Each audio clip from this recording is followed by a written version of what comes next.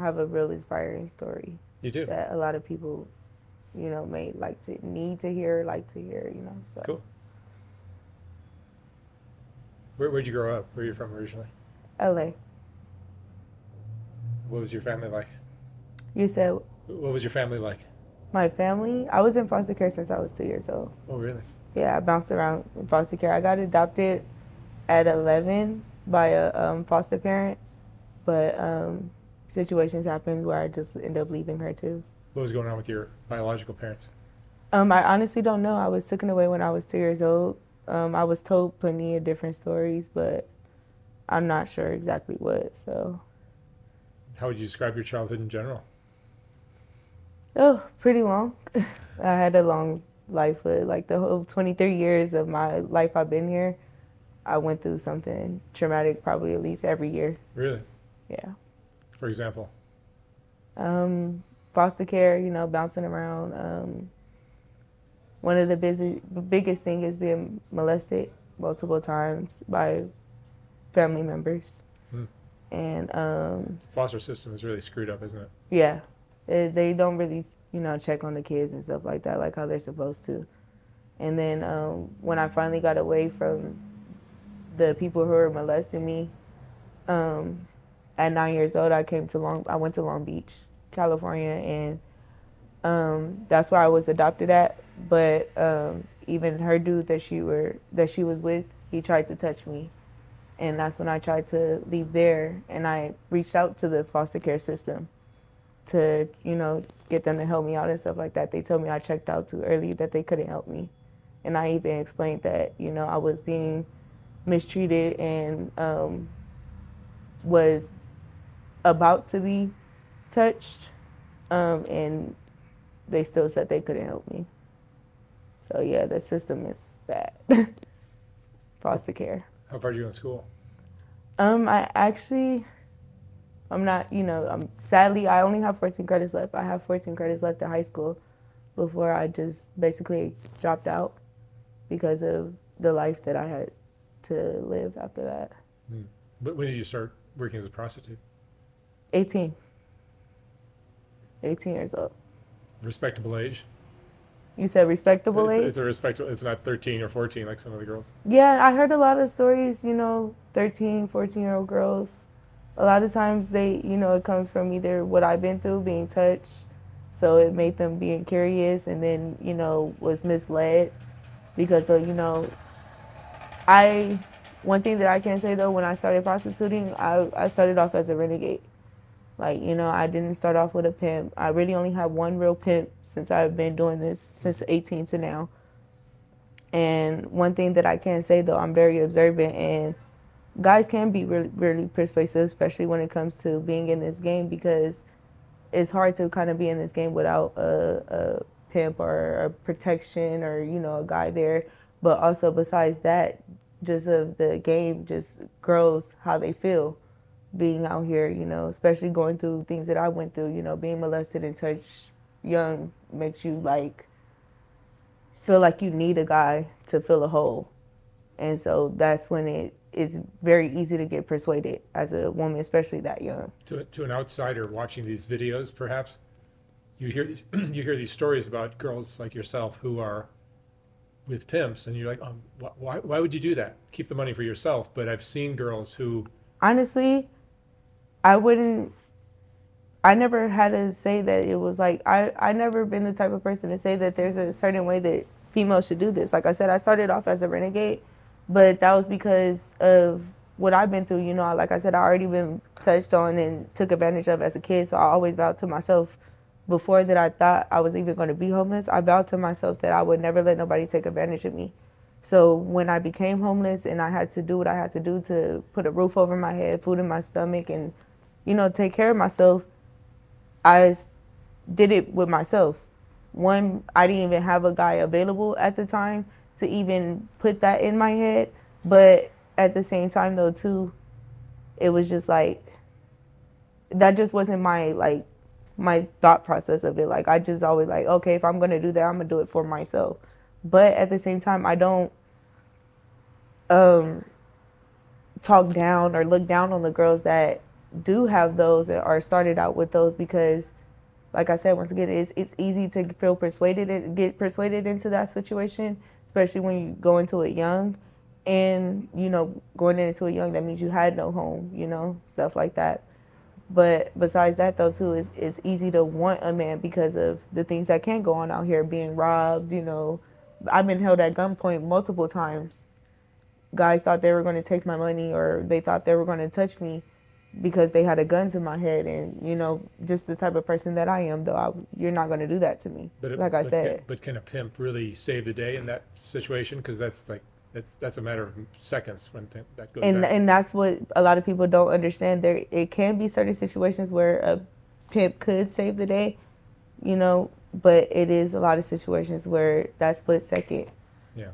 she won't even be able to get in contact with her pimp to be able to get him to know that something is going on What I was about to say earlier is, I've seen girls whose pimps get arrested and get put in jail, yeah and I'm I'm surprised at how they just don't they lack the survival skills.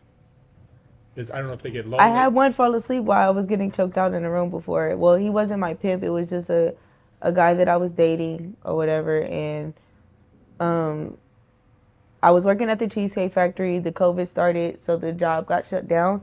And so that's when I had to go back to doing this or whatever. And I was already dealing with the guy. But when I first started dealing with, I was already, I was I had a regular job, so I wasn't doing this. He didn't even know that I could do that. Like I could be on that type of program, you know, or whatever. But um, when the opportunity presented itself for him, you know, basically I built him to be a pimp. You know, he and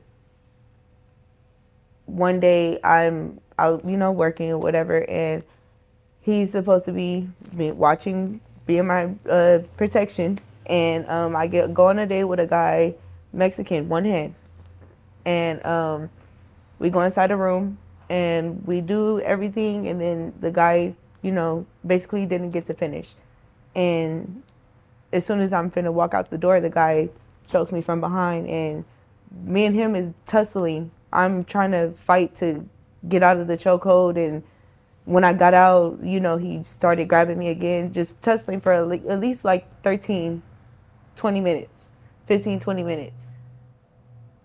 I only say that to say that I told the guy that I was with, oh, I'm finna come downstairs.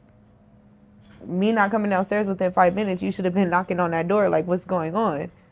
He didn't come upstairs. I'm fighting with this guy 15, 20 minutes. I finally get loose myself. I didn't think to, oh, look for the hit the car, our car that we're in. I'm thinking to run for my safety.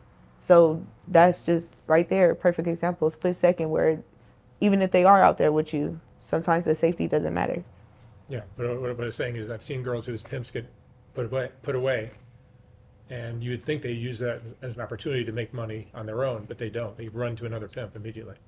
Once again, that's just the that that just depends on the mind frame of the girl That's what I'm though, too. Because like I said, like, just, some females really feel like they need, need a guy, Yeah, I think they get lonely out there, and they feel like they need the protection. yeah. Tell me about your clients, You said the what? your clients, your customers. Uh, I don't know, all different kinds. it's all different types out here, you know, run into all different kinds, nice, mean, rough, all types. What, what has it taught you about men? Huh? What is what has this work taught you about men? You said What what? have you learned about men Um, by doing this work? shit, they'll give you as much as they want as long as they can get what they want. if they don't get finished, they'll for sure try to give you more. But seriously, one thing that I learned about men from a pimp perspective that a lot of these guys out here, they're just out here just to make themselves feel better. A lot of them don't even know what a real pimp is, you know, to like even Especially really here in LA. yeah, like really even call herself that or, you know, but everybody is following, you know, the trend and stuff like that. So, you know, they're going to do what they do, but men will know how to talk their way into a lot of situations, whether if it's a pimp or a trick, you know, because there's some tricks out here that they've been out here spending money for with females for so long that they know how to talk a female that don't know they know how to talk about some things, you know, or get it a lower price or whatever. So men, they they know how to use their mouth. Very, very good. That's one thing I learned for sure. What's more important to you, love or money? Honestly, to be honest, love, love, and I just want to. Honestly, I really don't want to do this. Like you know, I mean, money, yes, is good, just because you know you can't do anything without money. This world revolves around money you know. But at the end of the day, I just feel like at home is where the heart is. So. How does this impact your life emotionally? Uh, I'm dealing with mental things as of right now, you know, just because of everything that I've been through and still going through, you know. So I'm dealing with my mental as of right now, but I'm a very strong person. You know, I've been through a lot of things. I got tatted down my spine. God gave his toughest battles to his strongest soldiers, and I really believe that. So. I just keep going. Did you have dreams of doing something else with your life when you were younger? Oh. Or, or now? When I was younger, I used to want to be a judge. Really? yes, but as of now, though, like I really just want to get settled, you know, get stability, and I want to open my own hair business. I'm I do cosmetology. I want to go to school for cosmetology and just open up my own beauty salon and stuff like that. So. Are you saving money now? as of right now, I'm working on it. You know, it's kind of hard to when you stay in a hotel room. So that's what I'm working on, just getting into a better living situation so that way I can really save money. You, um, do you have kids? Want to? I don't. I had a miscarriage, lost a kid, so, but I don't have actually living kids. No. Keep it that way if you want to. I try money. to as long as I can. I do want a kid, but I want to be stable. You know, like I said, I've been through foster care. I always tell myself I don't want my kids to go through anything I've been through. Right. Do you think you get desensitized to how, how dangerous and crazy this lifestyle is? You said. Do you think you get desensitized to how dangerous and crazy this lifestyle is? Oh, well, what do you mean you, by you desensitized? You know, after, like because I, I had people even say like the way I react to certain situations is way different. Like I said, I had guys tried to rob me, you know, at gunpoint. And my reaction, literally looking at them dead in the eyes, like, you're gonna have to kill me if you think you're gonna rape me. Like, you're not, you're not gonna rape me or none of that. That's like, pretty desensitized. So, and when I had told that to a girl that has been out here longer than me, and she was like, "You said what?" And I repeated it again. She said, "Never." She was like, "I don't even think I would have responded that way." you know so i don't know i just i really feel i look at myself as a rose that grew up out of the concrete i've grown from where roses don't go from i'm a very sweet pretty thing but i've been through a lot of t- hardships so i'm not going to go for a lot of bullshit and do you think you get addicted to this fast money i wouldn't say addicted because like i said i have stopped this before just yeah. to go to a regular job and like I said, I don't want to do this. Like, you know, I would like to do anything else, but at the same time, I'm not just going to settle. You know, because once again, when I stopped, when I did work at the Cheesecake Factory, you know, a lot of people take a advantage of being a boss. And when they see that people are sometimes having hard times, you know, they just make it a little bit harder. So, you know, I never been good at listening to people. Like, mm. so I had no nobody to listen to. So what's the hardest part of this life, this job for you? Actually, doing the dates, doing doing what I got to do for the money. You have regulars? Not no more. I used to because I stopped for a while, so I lost all of them. Broke phones, so don't got the same phone no more. Right. Just there's plenty of new new guys out there. I mean, yeah, but I don't want to keep meeting new guys. I just want to get myself together and get out. What do you think the most misunderstood thing is about girls that do this kind of work? That we are really the strongest women there are. Like we have to really have tough skin to work out here, you know, whether if it's just because how it looks like we're treating ourselves as low women because we are doing these things to get money, but they have to understand that once again, sometimes these are only the cards that people are dealt with, you know, and there is so many hard things that females go through. It's been females that's been killed out there, robbed out there. You know, it's a lot of females that's taken advantage of, mistreated. So we are really like a, a the strongest woman they are. Like real tough skin to even go through something and still get out there the next day and be like, you know what, because I got to do this, I got to I got to do what I got to do. If you had your life to live all over again, what would you have done differently? Honestly, I wouldn't have done anything differently because I feel like the life that I lived it's meant to be. Like uh, uh, it made me the person that I am and how strong I'm supposed to be. There's been times where I wanted to take myself out, but it, I didn't succeed, and that's how I knew that the my purpose on this earth was not. It hasn't been made yet. So. And you're learning from your mistakes. Yeah. Some of them, some of the things that I went through wasn't even my fault. You know. Not blaming on anything else, but you know, it wasn't in my control. That's the be- that's a, a better way to say it. It wasn't in my control. I couldn't control it because I was a kid. But now that I'm getting older, you know, I'm learning how to take control of my life.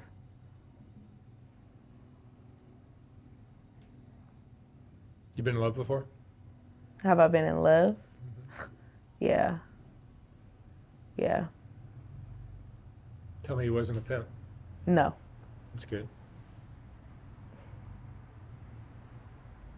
Do you have friends? Somewhat, yeah. You know, associates. associates are not pimps. I mean, are, are not friends. Associates, friends, you know, I mean, because people say they fuck with you and then, you know, but when the hard times really come, like all the, most of the things that I've been through in my life, all the hard times that I've been through my life, I've been through by myself. So who can I really say is a friend?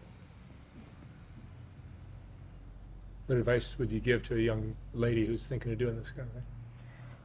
Woo! Really, if you can do anything else, don't do it. You know, like, but if you these are cards you dealt with. Just play it smart, really stack your money, you know, and every day that you do see that it's going, make sure you just stay down until it just don't go no more because these slow days, they're not worth it. And spend like just blowing the money, you're not gonna get nowhere. You're just gonna keep on going in circles and really being out here. Even if you have the mentality of, oh, you don't want to do this forever, it's easy to fall back down into it because of the simple fact that you're just not saving your money. Simply just being smart about it. And drugs? You said what? Drugs? Do I do drugs? Yeah. I've done drugs, but you know, I I left it alone. I used to do ecstasy pills, but I don't know, know no more. I drink though alcohol and smoke weed and smoke my puff bar. Do you have to be high or drunk or something like that to do this kind of work?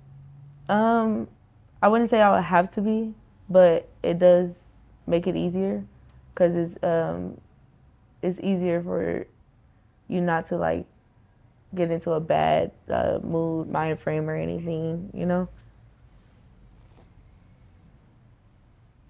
It's got to be tough seeing all these strangers in a night in the way you do it. Uh, yeah, especially the things that I've been through. That's why I said if I can do anything else, I would. But you know. What's your biggest fear? I don't fear anything but God. I don't even fear death. Like if it's my time to go, it's my time to go. I've been through so much where it's like, what is there left to fear? I've been through a lot that a lot of people just fear that of happening. So the only thing that's worse than this is death, and I'm, I don't fear that. So I don't fear anything. Is it is it a self worth issue that, that got you into this and keeps you into it? What do you mean by self worth? I mean, like most women would probably say they deserve a better life than to be out in the street selling their ass. I mean, of course, a lot of females feel like they deserve better, you know. But still, I had a lot of people tell me, even me with me being out here, just by the way that I carry myself, you can tell that I know that I'm worth. I know I'm worth more because I don't let this game make me. As in, like with being naked, it's been times where I didn't walk outside like this at nighttime. You know, it was, when I first started, I wasn't even wearing heels, but I was still getting customers, and they would tell me like, you know, I like how you still dress classy, you know, or cover up. You don't got to be naked, like you're not following everybody else, you know you're making sure you still have some class to yourself. At the end of the day, carrying yourself as a lady. So. Do you think prostitution should be legalized? Isn't it? but honestly, I just feel like, I mean, it's our body. Like, you know, some females are not forced into this. That's the things that they should be cracking down on the people that are forced into it, the, th- the people that are doing sex trafficking. Because, yeah, okay, even they saying they're trying to get these pimps, is people that's in the government that's doing sex trafficking. That's the things that they should be cracking down on. If a female is out there and she's walking and she's doing it day to day, obviously she kind of has like her own mind frame and she wants to do it too type thing. So a female should just like abortions. If a female want to get rid of a baby, she should be able to do that. Not everybody is filled with a golden spoon in their mouth, you know.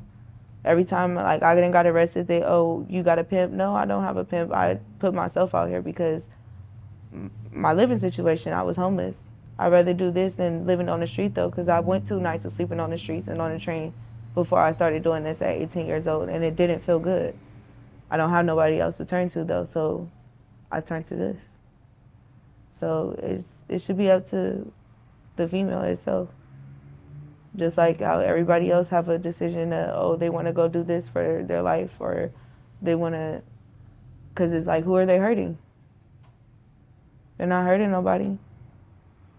You're not killing, robbing nobody. You know. I mean some females do, but some niggas rob too. Like you know, some tricks rob females too. So, but as in like just our mindset, our um, what should I say? Like the the um, like our our plans is not to oh, go out there and hurt nobody. It's just trying to make some money to live, trying to make our life different from what it is. What would you say is the most important thing you've learned in your 23 years? Uh, the, my whole life. Shit, honestly, just really saving is really one of the most important things. Like saving Save- your save money, money. save money, like Yeah, very few, money. very few of the girls that I've interviewed, huh? very few of the girls I've interviewed know how to save money. Uh, yeah, I mean, and, and like I said, just too the depends on the lifestyle though. Like you know, once again, you too, like you said, you asked me if I do drugs. A lot of girls out here, they do gotta do drugs to be out here, you know. So that's another habit though of spending money, just like as if paying rent for a room every day. You know, paying rent for a room, you you spend th- three thousand dollars inside a room every month. Hundred dollars a day, not just if it's just a hundred dollars. What if it's more? Which a lot of rooms did go up. Mhm. So you're spending more money inside that room. You're giving that room money for an apartment. So that's what makes it. It does make it hard to save. On top of you still got to feed yourself. What if the girls do got kids?